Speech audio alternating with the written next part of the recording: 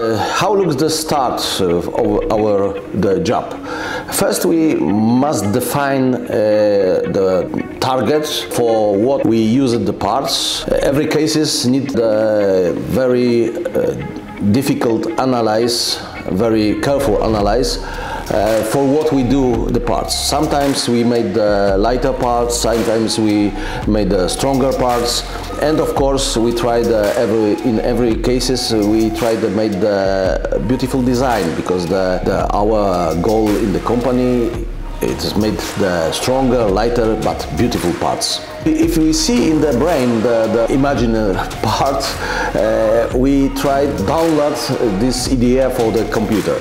Um, this way uh, give us the possibility first uh, design on the design the 3D shape of the parts and after that we can uh, simulate the thickness, uh, the, the, the, the, property these parts, uh, but everything is in the virtual world.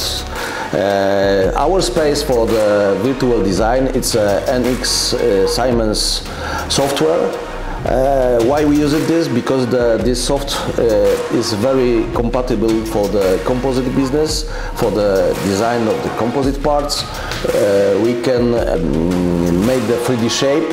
Uh, we can make the uh, simulation of the fibers and uh, theoretical we plus minus we know how stronger will be the parts and uh, how will be look the endurance these parts. So after our work in digital environment is finished, we can proceed to prototyping section where we need to produce a prototype. We use 3D printers and sometimes we also mill the prototypes on the uh, CNC uh, mill. So the idea behind the first prototype is to check its shape. Check if it's if it goes well with its let's say surroundings. Yeah the place where it needs to be put in.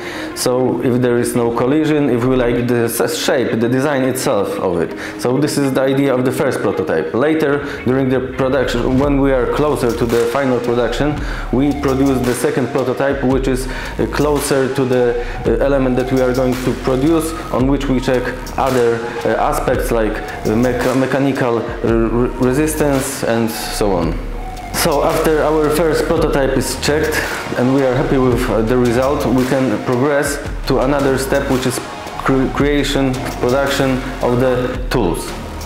When creating the mold, they are very crucial for our production process because thanks to them our products look the way they look, they are strong as they are and meet our assumptions from the beginning.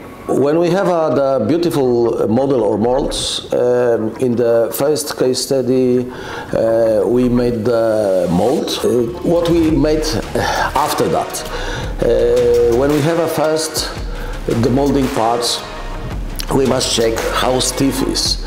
Uh, theoretical design give us the 80% um, right uh, decision how many layers how many fibers we use on the parts.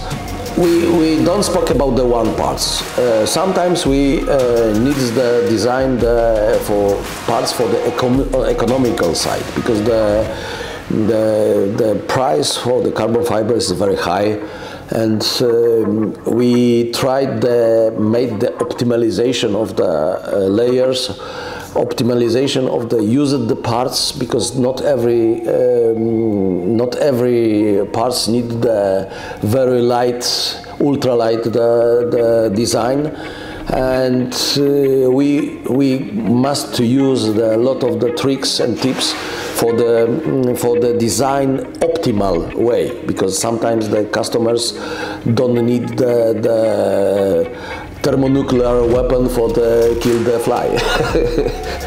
so this is the end of the video and I think, I hope you are more familiar right now with the whole process and the uh, things that you need to go through each step while producing the forms and the products and I hope you enjoyed the video. Thank you, goodbye.